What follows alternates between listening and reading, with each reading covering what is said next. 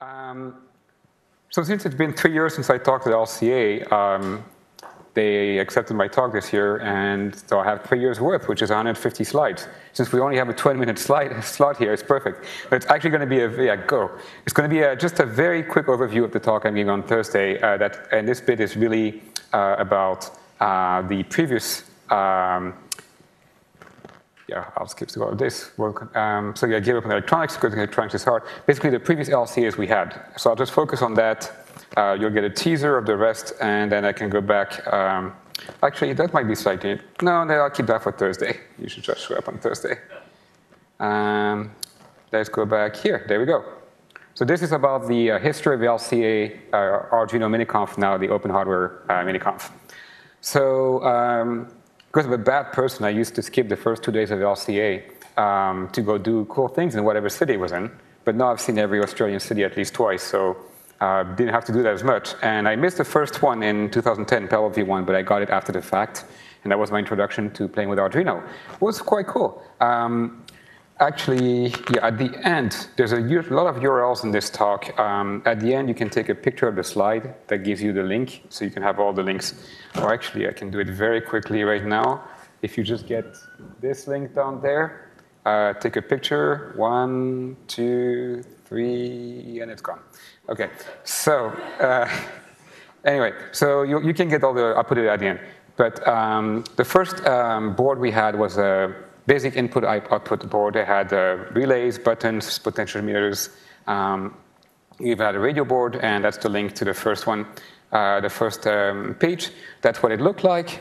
So I got it after the fact. Uh, I went on a diving trip, and between dives I was quite bored. So I started working on it, and it was uh, quite fun. So that's the first one. And you can see there's a little slot here for a wireless radio, which I got later, so I could talk to it from my laptop without having a wire in between. Uh, 2011, next year, MOPS and DAT. So MOPS and DAT, uh, I have a picture here. Um, it had slots for two radios. Um, that one was a long-range uh, radio. That was a short-range XBee module. Uh, that was some Freetronics company. I've never heard of it. Not sure what they do. Um, and uh, it had the weird shape that was designed to go in a rocket. That was, that's why it was longer than wide. Um, and it had a GPS slot. I made a very, I don't know why I got that connector at home somehow, but I got that connector so I could unplug the, um, the GPS because I ended up not using it for, uh, I wanted to put it in an RC plane, but by the time I was ready to do it, uh, had already done all the work and I didn't really need to put that on an RC plane. But anyway, um, sorry for speaking quickly, but a lot of material. So um, it had SD cards to record data. You could get uh, altimeter settings, GPS, um, accelerometer. It was quite cool, but I just never built a rocket because I didn't send up in time and I'm not cool enough to go to space. So my uh, rocket, sorry, my MOPS and DAT uh, never went in space or anywhere in the air even. But it got to do, it got to do cool things. Um, that was my first little cool Arduino board that at the time, I know it looks huge today, but uh, at the time was the smallest Arduino board I could get compared to the ones you would buy that were even bigger. And it had all those things already wired in. So I was like, cool, I can maybe use this to do other, other stuff. And I was looking at um, sleep monitoring at the time. So I thought, hey, I can use this board. And there's more uh, on that. I have an entire talk that got rejected, but you have the link here. I did give it elsewhere, so I didn't just write it to get it not uh, accepted. But that's, um, that's how you do sleep monitoring normally. It costs actually around $5,000 in the US. It's quite nice. Uh, the hotel room is not quite up to standards for 5,000 bucks, but the wiring is. Um, it, it does take about, seriously, it takes over half an hour to get wired with all this stuff. And at the end, they use some special, very uh, foul smelling stuff to get all the glue out of you. Quite fun. Also, they shave your legs for free. It's very nice. Um, they are take at home. So this is the good, good stuff that actually works and records everything. Uh, so the problem sleeping, yeah, I was going to get to that. Sleeping, that's what the, the slide at the top says. Good luck sleeping with that, right? Uh, one of my problems, I don't sleep if I have any disturbance. And that turns out to be a small disturbance having all this crap on me, especially because I'm a belly sleeper. So sleeping on the belly with that did not work at all. Um, and then you also strangle yourself with all the wires. It just didn't work so well.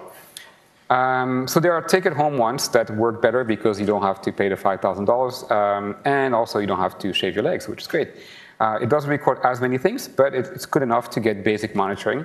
But those things being medical instruments still cost way, way too much money. You can have your own. Like they made me drive back to download the data when like, you know, I had to show them how their own software works. So eventually the lady actually gave me the software so I could do it at home without driving every day to download the data at their office when they didn't even know how to do it anyway. Um, that's another version of it that's a little bit better. It doesn't have a nose cannula. They use some magic. I'm not sure how. There, there are two finger things. This one is the normal uh, pulse and uh, oximeter, which knows how much oxygen you have in your blood.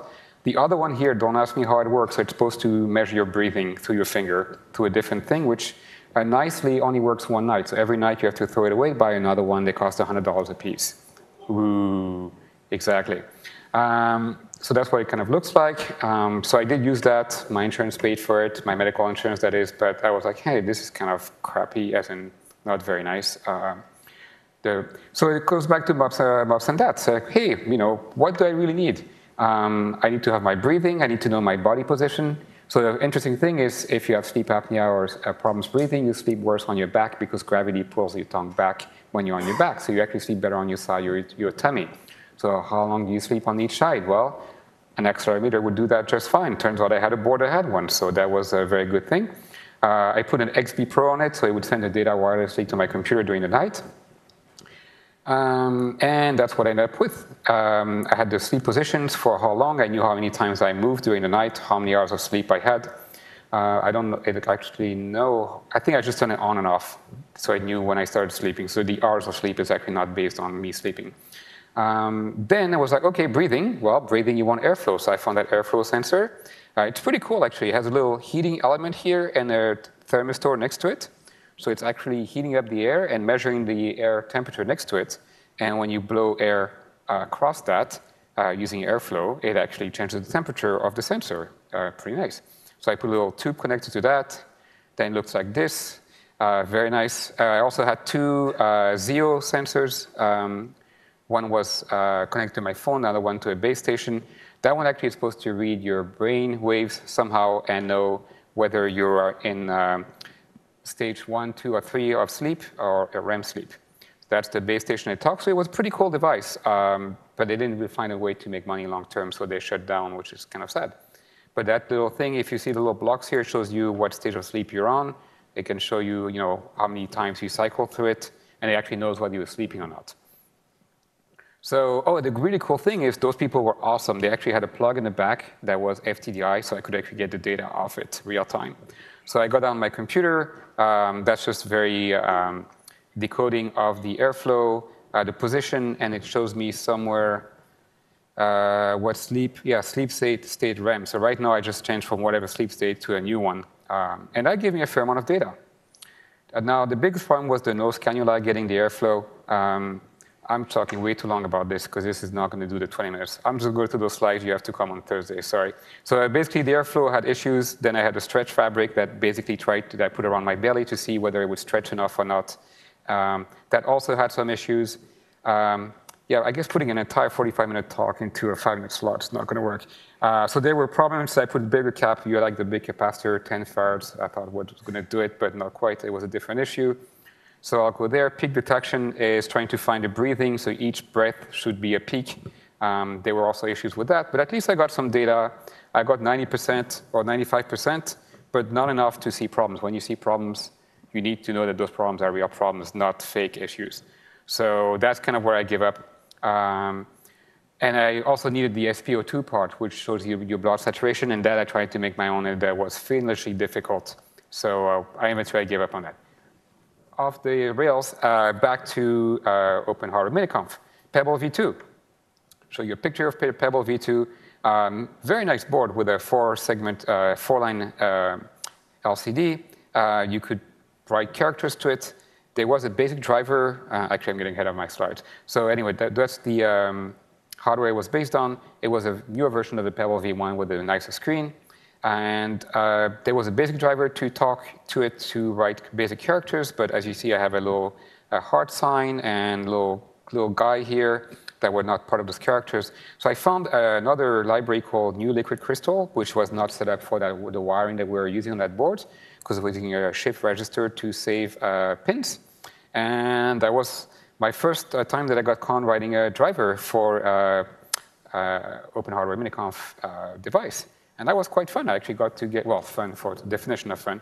Uh, I got the uh, spec sheet, figure out what it needs, uh, what timing and so forth, got all the wiring, um, translation, eventually got it to work. That was the end result. Uh, sorry for going fast. The next year was Hack CNC. I'll show you a picture first. Uh, that's the pile of bits you get. And that is what looks like a printer, and it almost is actually. It's uh, like um, 2D printer which has a little pen that moves around, that can go up and down, and you can draw shapes with it. Almost would be a 3D printer, except it doesn't put out layers of goo that makes a 3D shape, it just has a pen. But it got very close to it and talked like uh, G-code like a 3D printer would. And that was a very nice device. It's also super great to put in your luggage on the way back because it fits very well. It was about yay big. and, uh, but I, yeah, I actually found someone to take it home for me, so it worked out. Um, and yeah, uh, G-Code, uh, sadly, that's one project that I never really got to do much afterwards with because I had other things that kept, uh, that took my time. Um, so what happened is I had a little Arduino training uh, course at work that was an optional class that I went to that just gave us a bunch of things. Uh, those were some Adafruit sensors. And I thought, oh, yeah, Arduino, that was fun. It's better than doing a day of work, which it sure was. So that was a nice little accelerometer. You had a little um, segment here, and as I was tilting the board, I would move the little snake, and it could not run off the screen, otherwise it died. Um, and that was really fun. So that was also my introduction to Adafruit GFX. Um, so Adafruit, whether they actually call NeoPixels right or wrong, uh, they actually have written a lot of libraries that are quite helpful. The GFX one is a very nice way to talk to multiple graphical backends uh, from the uh, little 8x8 segment displays here to uh, lots of things that you're seeing here.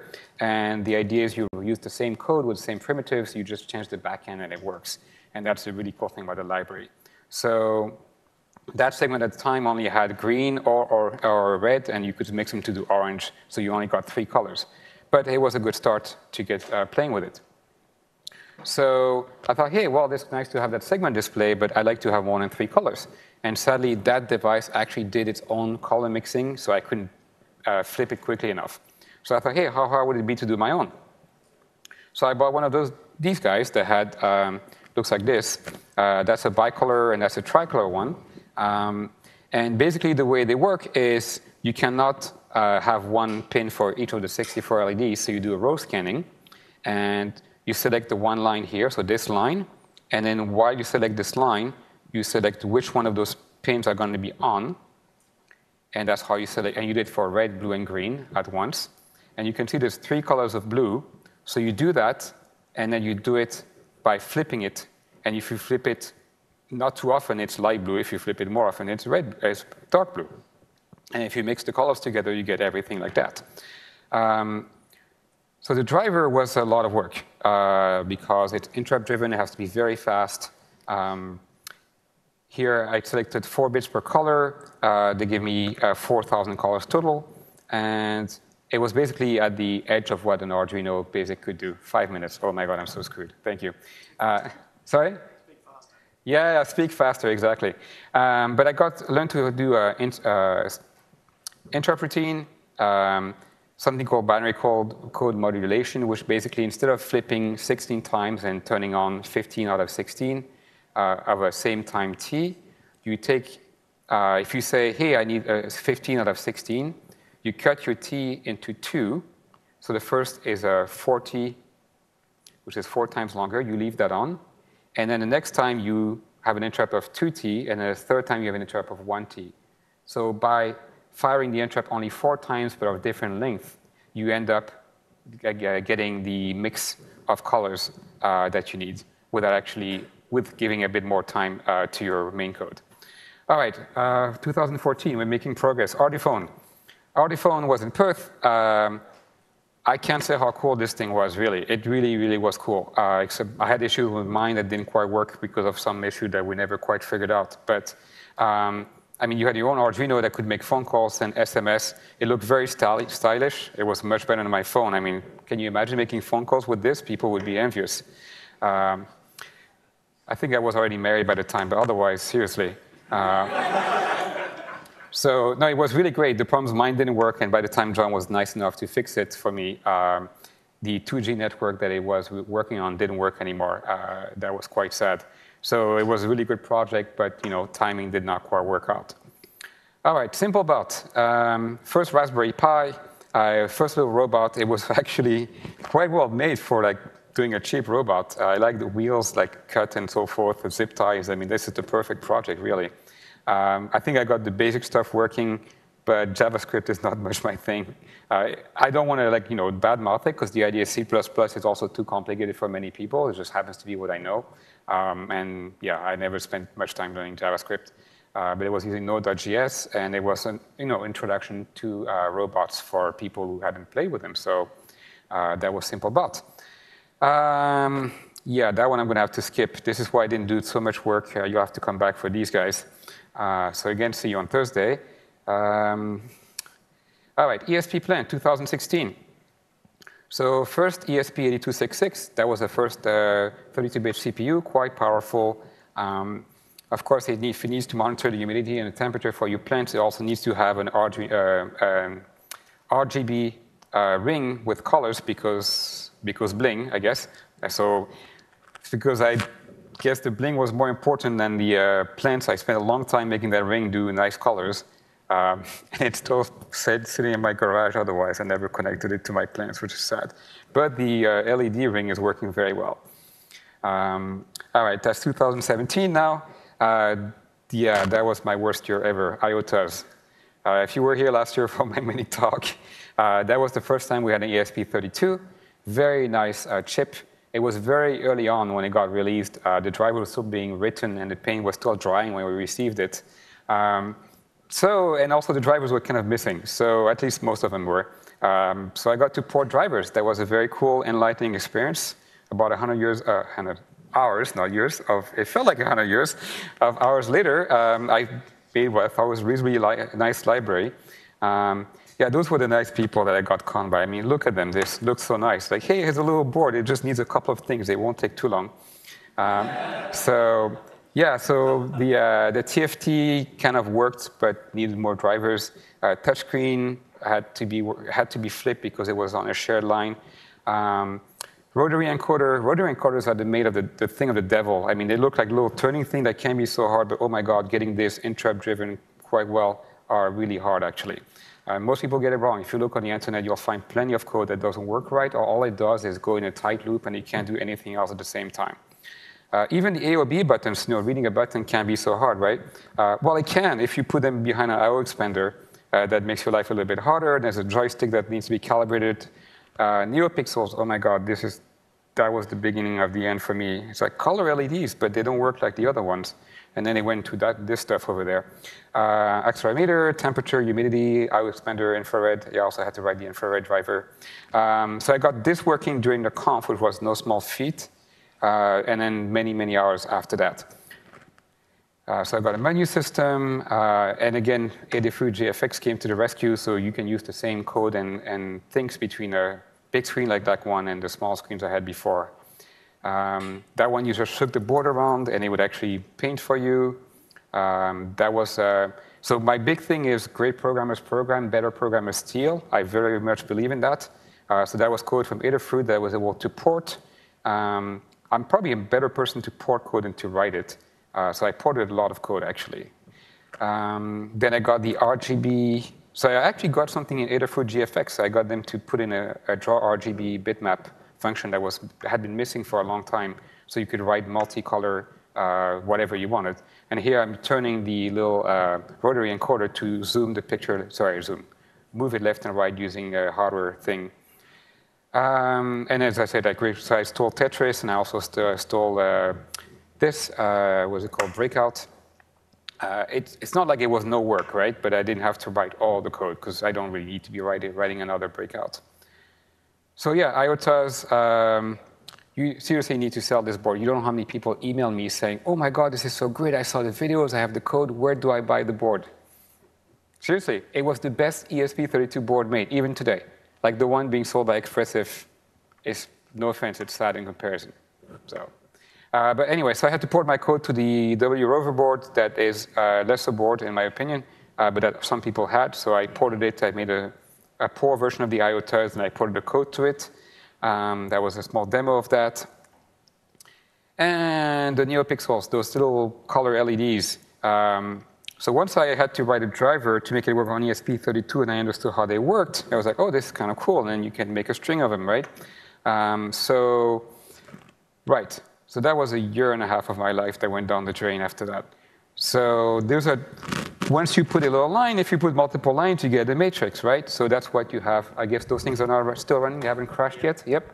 So that's the matrix here of a 3232. Um, so wiring, actually probably have a slightly better picture here. Yeah, so when you are really stupid, you take those things and you glue them together and you make a matrix like that. That was 24, 24, about a day of work. Um, if you're smarter, uh, you actually buy matrices now, which were pre-made, but they're not necessarily the size you want. So these guys here are 16, 16. You have four of them. And they need to be put together because the mapping is not a one-to-one, right? It's a square, and then the next pixel goes up, so you need a mapping function. That's what NeoMatrix does from uh, Adafruit. Uh, that's another thing Adafruit wrote, quite useful. Uh, you think, yeah, how hard can it be to map? But actually, with all the rotations, the way the serpentine, like the mapping can be like this, it could be a serpent one, and how you connect between the matrices, there's like a zillion ways of doing it, and their, their library does all the work, so that's quite well done. Um, then you can see and well, I'll get back to it later. So then you have the RGB matrix panel, which these two guys are. Uh, those are newer versions of it. Again, I'm going quite fast. Uh, those are driven completely differently, but they have much higher density. Um, I was able to reuse my draw RGB that had uh, contributed for the IoTuz to actually put uh, random pix maps. And you can see those are completely different backends. This is a NeoPixel backend. This is a completely different driver, but the same code. It's just using the same uh, you know, begin, and everything else, the code does the same thing. That's really cool, actually. All right, so um, yes, so I thought, okay, well, NeoPixels, maybe I could use them for something else and put them on my desk. So I go to events where being lit up is a good thing, uh, and I thought that was kind of made sense, actually. Uh, so not this kind of lit up, but this kind of lit up. Um, so that was without NeoPixels, just shining LEDs. Uh, that was version one. Uh, and that, that, worked, right? But you can do better than that. So uh, those uh, LED strips were all one color. They were not addressable LED by LED. I'm actually getting to the next talk, so I probably should be saving that for a second. Let's go back to open hardware. Sorry, I got sidetracked. Uh, Lollibot was last year. So that was um, the one you just saw earlier. This little guy in MicroPython. Uh, I should have worked on it, and I was so busy doing my LED stuff that I didn't, but I did work on it during the conf at least. Uh, so you saw this little guy. Okay, so that's, I think we're done for that part. So I'm done with the 20 minutes. I can go back to the pixels now, more or less. Um, okay, so we'll consider this the next talk? Yes. All right, so this is end of talk number one. Thank you.